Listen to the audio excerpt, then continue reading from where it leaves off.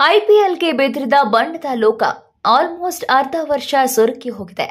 IPL ಆಟಕ್ಕೆ ಚಿತ್ರಮಂದಿರಗಳು ಚಿತಾಲ್ಪತಾಲಾಗಿವೆ ಎಲ್ಲ ಪೀಸ್ ಪೀಸ್ ಕೆಂಚಾಲೋ ಮಂಚಾಲೋ ಕೂಡ ನೋಡ್ತಾವ್ರೆ ಐಪಿಎಲ್ ಗೋವಿಂದ ಜೇಡ್ರಲ್ಲಿ ಕನಸಲ್ಲೂ ಐಪಿಎಲ್ ನಾವಿರುವ ತಾಣವೂ ಆಗಿದೆ ಐಪಿಎಲ್ ಆರ್ಸಿಬಿಯೇ ನಮ್ಮಮ್ಮ, ಅವಳಿಗೆ ಕೈ ಮುಗಿಯಮ್ಮ ಅಂತ ಜನ ಸಿನಿಮಾ ನೋಡೋದನ್ನೇ ಮರೆತು, ನೀನೇ ನೀನೇ ನಮಗೆಲ್ಲ ನೀನೆ ಅಂತ ಕ್ರಿಕೆಟ್ ಗುಂಗಲ್ಲಿ ಕಳೆದು ಹೋಗಿದ್ದಾರೆ.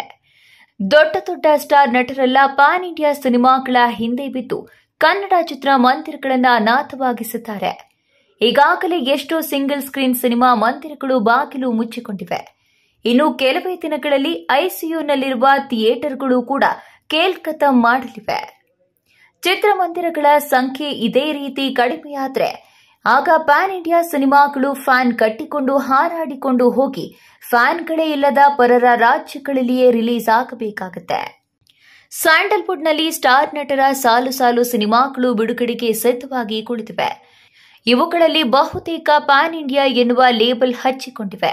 ಈ ದೊಡ್ಡ ಬಜೆಟ್ ಸಿನಿಮಾಗಳು ತೆರೆಗೆ ಬರಲು ಹಿಂದೇಟು ಹಾಕ್ತಾ ಇವೆ. ಇದಕ್ಕೆ ಮೂಲ ಕಾರಣ ಐಪಿಎಲ್ ಈಗಾಗಲೇ ರಿಯಾಲಿಟಿ ಶೋಗಳಿಗೆ, ಸೀರಿಯಲ್ಗಳಿಗೆ ಅಂಟಿಕೊಂಡಿರುವ ಆಂಟಿಯಂದಿರು ಚಿತ್ರಮಂದಿರಗಳಿಗೆ ಹೋಗೋದನ್ನ ಕಮ್ಮಿ ಮಾಡಿ ದಶಕಗಳೇ ಉರುಳಿ ಹೋಗಿವೆ. ಅಂಕಲ್ಗಳು ಅನಿವಾರ್ಯ ಕಾರಣಗಳಿಂದ ಟಿವಿ ರಿಮೋಟ್ ಮೇಲೆ ಅಧಿಕಾರ ಕಳೆದುಕೊಂಡಿದ್ರೂ ಕೂಡ ಒಬ್ಬರೇ ಥಿಯೇಟರ್ಗಳಿಗೆ ಹೋಗ್ತಾ ಇರಲಿಲ್ಲ. ಇನ್ನು ಥಿಯೇಟರ್ಗಳಿಗೆ ಬಂದು ಸಿನಿಮಾ ನೋಡಬೇಕಿದ್ದ ಯಂಗಿಸ್ತಾನ್ಗಳು ಅಂಕಲ್ ಆಂಟಿಗಳಿಗೆ ಐಪಿಎಲ್ ಹುಚ್ಚು ಹಿಡಿಸಿಬಿಟ್ಟಿದ್ದಾರೆ. ಹಾಗಾಗಿ ಸರ್ವಂ ಐಪಿಎಲ್ ಮಯಂ ಆಗಿ ಹೋಗಿದೆ. ದುರಂತ ಏನಂದ್ರೆ ಸಿನಿಮಾ ನಟರು ಕೂಡ ತಮ್ಮ ಸಿನಿಮಾಗಳ ಗೆಲುವಿಗಿಂತ ತಮ್ಮ ನೆಚ್ಚಿನ ಐಪಿಎಲ್ ಟೀಮ್ ಗೆಲ್ಲಲಿ ಅಂತಾನೆ ಪ್ರಾರ್ಥನೆ ಮಾಡ್ತಾ ಇದ್ದಾರೆ. ಸೊ ಇನ್ನೆಲ್ಲಿ ಸಿನಿಮಾ ರಂಗ, ಇನ್ನೆಲ್ಲಿ ಚಿತ್ರಮಂದಿರಗಳು ಸ್ಟಾರ್ ಹೀರೋಗಳ ಬಹು ನಿರೀಕ್ಷಿತ ಸಾಲು ಸಾಲು ಸಿನಿಮಾಗಳು ಈ ವರ್ಷವೇ ತೆರೆಗೆ ಬರುವ ಸಾಧ್ಯತೆ ಇದೆ.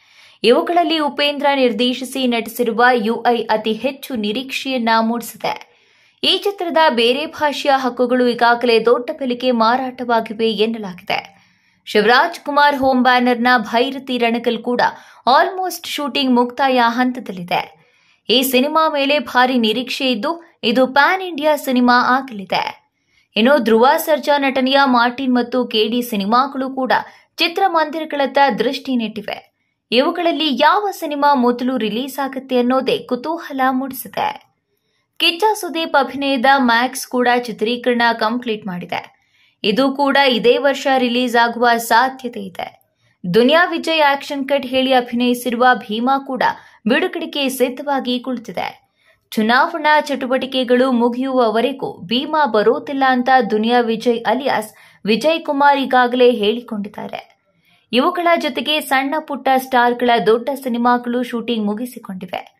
ಈ ಎಲ್ಲಾ ಚಿತ್ರಗಳು ಈ ವರ್ಷವೇ ಥಿಯೇಟರ್ ಒಳಗೆ ನುಸುಳಲು ಕಸರತ್ತು ಮಾಡಲಿವೆ. ಇಷ್ಟೋ ದಿನ ಚಿತ್ರಮಂದಿರಗಳನ್ನ ಬೇರೆ ಭಾಷಿಕರಿಗೆ ಬಿಟ್ಟುಕೊಟ್ಟು ಇದೀಗ ಕನ್ನಡ ಸಿನಿಮಾಗಳೇ ಪರಸ್ಪರ ಪೈಪೋಟಿ ನಡೆಸಲಿವೆ. ಐಪಿಎಲ್ ವೇಳೆಯಲ್ಲಿ ಧೈರ್ಯದಿಂದಲೋ ಅನಿವಾರ್ಯ ಕಾರಣದಿಂದಲೋ ಒಂದೆರಡು ಕನ್ನಡ ಸಿನಿಮಾಗಳು ತೆರೆಗೆ ಬರುವ ಸಾಹಸ ಮಾಡ್ತಾ ಇವೆ. ರವಿಚಂದ್ರನ್, ಧನ್ಯ ರಾಮ್ಕುಮಾರ್, ದಿಗಂತ್, ರಂಗಾಯಣ ರಘು ಸೇರಿದಂತೆ ಹಲವು ಕಲಾವಿದರು ನಟಿಸಿರುವ ದಿ ಜಡ್ಜ್ಮೆಂಟ್ ಈ ವಾರ ರಿಲೀಸ್ ಆಗ್ತಾ ಇದೆ. ಜೊತೆಗೆ ರಂಗಾಯಣ ರಘು ಮೇನ್ ರೋಲ್ನಲ್ಲಿರುವ ಮೂರನೇ ಕೃಷ್ಣಪ್ಪ ಕೂಡ ಈ ವಾರ ತೆರೆಗೆ ಬರ್ತಾ ಇದೆ. ಇದಲ್ಲದೆ ತ್ರಿದೇವಿ ಎವಿಡೆನ್ಸ್ ಎನ್ನುವ ಹೊಸಬರ ಸಿನಿಮಾಗಳು ಬಿಡುಗಡೆಯಾಗ್ತಾ ಇವೆ. ಜೊತೆಗೆ ಮಲಯಾಳಂನ ಟರ್ಬೋ ಚಿತ್ರ ಕೂಡ ಕನ್ನಡದಲ್ಲಿ ಡಬ್ ಆಗಿ ರಿಲೀಸ್ ಆಗ್ತಾ ಇದೆ.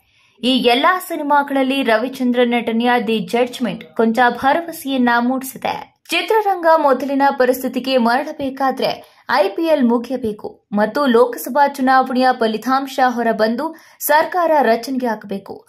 ಅಲ್ಲಿಯವರೆಗೂ ಇದೇ ಸ್ಥಿತಿ ಮುಂದುವರಿಯಲಿದೆ.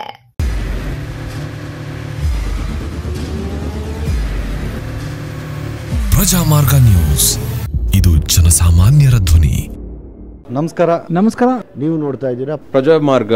ನ್ಯೂಸ್ ರಾಷ್ಟ್ರದ ರಾಜ್ಯದ ರಾಜಕೀಯದ ಬಗ್ಗೆ. ಹೆಚ್ಚಿನ ಸಿನಿಮಾ ಅಪ್ಡೇಟ್ಗಳಿಗಾಗಿ ಫಸ್ಟ್ ಲೈಕ್ ಮಾಡಿ ಸಬ್ಸ್ಕ್ರೈಬ್ ಆಗಿ. ಹಾಗೆ ಫಾಲೋ ಕೂಡ ಮಾಡಬೇಕು.